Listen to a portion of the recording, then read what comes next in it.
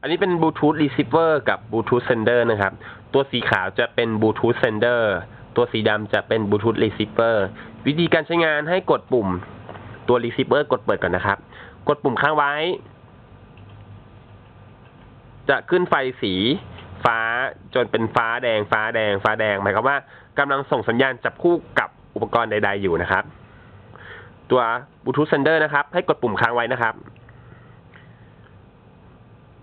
รอจนฟ้าแดงฟ้าแดงฟ้าแดงฟ้าแดงนะครับ มันจะจับคู่เองนะครับ จับคู่เอง จับคู่เองเรียบร้อยครับ จากนั้นเอาตัวนี้นะครับ ไปเสียบกับตัวช่องที่เป็นช่องหูฟังธรรมดาใด ๆ มันจะส่งสัญญาณไปจับคู่กับตัวนี้ ตัวนี้ไปต่อกับลำโพงใด ๆ ก็จะใช้งานส่งสัญญาณเสียงไร้สายได้ทันทีบลูทูธ sender สีขาวนะครับ บลูทูธ receiver สีดำนะครับ จากเว็บไซต์ bestgoody.com นะครับ ไม่มีขายในประเทศไทยนะครับ